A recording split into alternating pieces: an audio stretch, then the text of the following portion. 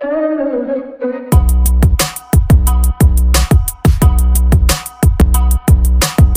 hello welcome back to രജനിയേറ്റ് kitchen ഇതുവരെ എന്റെ channel subscribe ചെയ്യാത്ത സബ്സ്ക്രൈബ് ചെയ്യൂ. തൊട്ടടുത്തുള്ള ബെല്ലൈക്കൺ അമർത്തു. ലൈക്ക് ചെയ്യാനും മറക്കരുത്.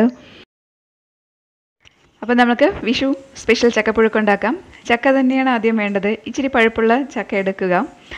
ഒരുപാടൊന്നും വേണ്ട. ഇപ്പം കാണിച്ച പരുവത്തിൽ പിന്നെ കുറച്ച് ചക്കക്കുരു ഒരു എട്ട് പത്ത് ചക്കക്കുരു ഒരു ഒരു മുപ്പത് പീസെങ്കിലും ഞാൻ ചക്ക എടുത്തിട്ടുണ്ടാകും തേങ്ങ ജീരകം അരപ്പിന് വേണ്ടിയിട്ടുള്ളതാണ്. രണ്ടല്ലി വെളുത്തുള്ളി പച്ചമുളക് നമ്മുടെ എരിവിന് ആവശ്യത്തിന് ഓരോരുത്തരുടെയിലുമുള്ള എരിവ് ആ, ഉള്ള മുളകിനനുസരിച്ച് കുറച്ച് കറിവേപ്പില ഉപ്പ് ഉപ്പാണ്. അപ്പോൾ ആവശ്യത്തിന് ഉപ്പ് ചേർക്കുക മഞ്ഞൾപ്പൊടി പിന്നെ വെളിച്ചെണ്ണ തന്നെ വേണം. നാടൻ വിഭവമായതുകൊണ്ട് തീർച്ചയായും വെളിച്ചെണ്ണ തന്നെ ഉപയോഗിക്കാൻ ശ്രമിക്കുക. ഇനി നമുക്ക് ചക്ക എങ്ങനെയാണ് അരിയേണ്ടത്? അപ്പോൾ മധുരമുണ്ട് ഈ ചക്കയ്ക്ക്. എന്നാൽ ഒരുപാട് പഴുത്തതും അല്ല. അപ്പോൾ ഈ രീതിയിൽ കട്ട് ചെയ്തെടുക്കുവാണ്. അപ്പോൾ ചക്കപ്പുഴുക്ക് എന്തായാലും ഉടഞ്ഞ പരുവത്തിലാണ് വരുന്നത്. അപ്പം നമുക്ക് പ്രത്യേകിച്ച് കട്ടിങ് അത്ര വലിയ പെർഫെക്റ്റ് ഒന്നും ഇല്ലെങ്കിലും കുഴപ്പമൊന്നുമില്ല. ഇനി ചക്കക്കുരു ഇതുപോലെ ഒന്നിനെ രണ്ടായി കയറി പിന്നെ അതിനെ നാലെണ്ണമാക്കി അങ്ങനെ ഇടുവാണ്. അപ്പോൾ ചക്കക്കുരുവും നമുക്ക് കുറച്ച് ഒരു പത്തെണ്ണത്തിന്റെ മതി. എടുത്ത ഒരു പത്ത് മുപ്പത് പീസ് ചക്കയുടെ ഒന്നും ആവശ്യമില്ല നമുക്ക് ഇഷ്ടമുള്ളത്ര നമുക്ക് ചേർക്കാം. വളരെ കുറച്ചാണ് ഞാൻ ചേർത്തിരിക്കുന്നത്. അപ്പോൾ രണ്ടും അരിഞ്ഞൊക്കെ ഞാൻ വെച്ചിട്ടുണ്ട്. അപ്പോൾ വൃത്തിയായിട്ട് കഴുകിയൊക്കെ വെച്ച് അപ്പോൾ ചക്കച്ചോള അധികം കഴുകേണ്ടി വരില്ല. പക്ഷേ ചക്കക്കുരു കുറച്ച് ഉപ്പ് വെള്ളത്തിലിട്ടിട്ട് കഴുകിയെടുക്കുക ഇനി അരപ്പിന് വേണ്ടിയിട്ടുള്ളതെല്ലാം ഞാൻ ജാറിലിട്ട് വെച്ചു. അതൊന്ന് ചതച്ചെടുക്കേ വേണ്ടൂ. നല്ലോണം ഫൈനായിട്ടൊന്നും അരയണ്ട. അപ്പോൾ ആവശ്യത്തിന് വെള്ളവും വേണേ. അപ്പോൾ നമ്മൾക്ക് ചക്കപ്പുഴുക്ക് ഉണ്ടാക്കാനുള്ള സാധനങ്ങളെല്ലാം റെഡി ആയിട്ടുണ്ട്. ഇനി നമ്മൾക്ക് ഞാൻ കുക്കറിൽ തന്നെയാണ് ചെയ്യുന്നത്. ചക്കക്കുരു ഉള്ളത് കാരണം കുറച്ച് വേഗം ടൈം എടുക്കുമല്ലോ. അപ്പോൾ പെട്ടെന്ന് തന്നെ ആവാൻ വേണ്ടിയിട്ട് അപ്പോൾ ഒരു ഗ്ലാസ് വെള്ളം നമുക്ക് ഒഴിക്കാം. ഇനിയിപ്പോൾ നമുക്ക് അരപ്പരയ്ക്കാനും ഒന്ന് ചതയ്ക്കാൻ വേണ്ടിയിട്ട് നമുക്ക് ഇച്ചിരി വെള്ളം ആവശ്യമാണ്. അപ്പോൾ അതൊക്കെ നമ്മൾ എത്രത്തോളം ക്വാണ്ടിറ്റി എടുക്കുന്നു ചക്കയും ചക്കക്കുരു എന്നതിനനുസരിച്ച് വെള്ളം ഉപയോഗിക്കുക. അപ്പോൾ ഞാനൊരു മുക്കാൽ ഗ്ലാസോളമാണ് ഞാൻ വെള്ളം ഇപ്പോൾ ഇതിലേക്ക് ഒഴിച്ചിരിക്കുന്നത്. ഓക്കെ അപ്പോൾ നമുക്കത് ഇട്ടിട്ട് ഒന്ന് ചൂട് ആവി കയറ്റാം ഒരുമിച്ച് ഇടാം. പെട്ടെന്ന് വേകുന്ന ചക്കക്കുരുവാണ്. ഇപ്പം ഞാൻ അരപ്പിന്റെ കൂടെയാണ് പച്ചമുളക് ചേർത്തിരിക്കുന്നത്.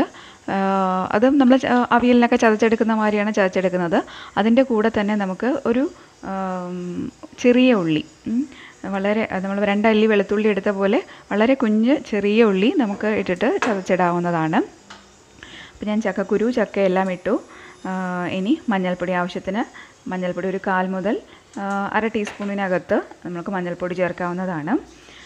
ആവശ്യത്തിന് ഉപ്പെല്ലാം ഇപ്പോൾ ചേർക്കാം. കാരണം നമ്മൾ കുക്കറിലാണ് വേവിക്കുന്നത്. ഇനി അധികമൊന്നും തിളപ്പിക്കാനൊന്നുമില്ല. അപ്പോൾ ഉപ്പ് ഈ ചക്കക്കുരുവിലൊക്കെ യോജിക്കാതെ വരും.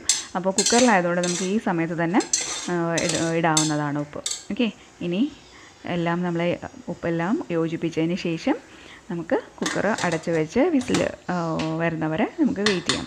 അപ്പോൾ ഒരു രണ്ട് വിസിൽ ഓരോരുത്തരുടെ കുക്കറിന്റെ വലിപ്പത്തിനനുസരിച്ച് അത് ചെയ്യാം. അപ്പോൾ നല്ലവണ്ണം ഞാൻ രണ്ട് വിസിൽ എടുത്തിട്ടുണ്ട്.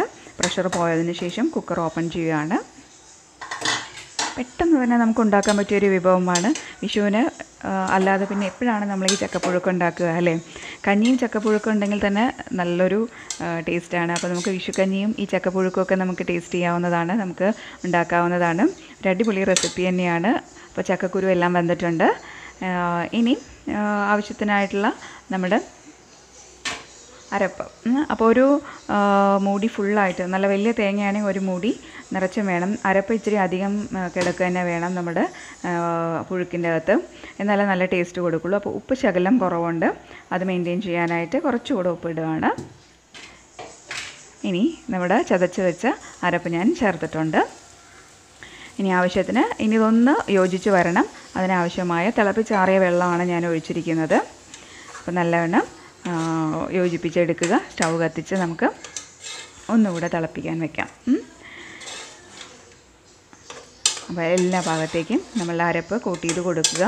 ഇനി ഒന്ന് തിളയ്ക്കണം എന്നാലേ നമുക്ക് ചക്കക്കുരുവായിട്ട് അഥവാ ചക്കയും ചക്കക്കുരുവായിട്ടൊക്കെ നമ്മുടെ ഈ അരപ്പൊന്ന് യോജിച്ച് വരുള്ളൂ അപ്പോൾ നമുക്ക് ആവശ്യത്തിനുള്ള കൺസിസ്റ്റൻസി അനുസരിച്ച് നമ്മൾ എടുക്കുക. എന്തായാലും ഇതൊരു സൈഡ് ഡിഷാണ് അപ്പോൾ ഇച്ചിരി കുറുകി തന്നെ ഇരുന്നോട്ടെ.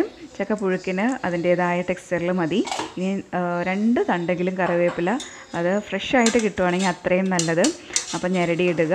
വെളിച്ചെണ്ണ ഒരു മൂന്ന് ടേബിൾ സ്പൂൺ നാല് ടേബിൾ സ്പൂൺ വരെയൊക്കെ ഉപയോഗിക്കാവുന്നതാണ്.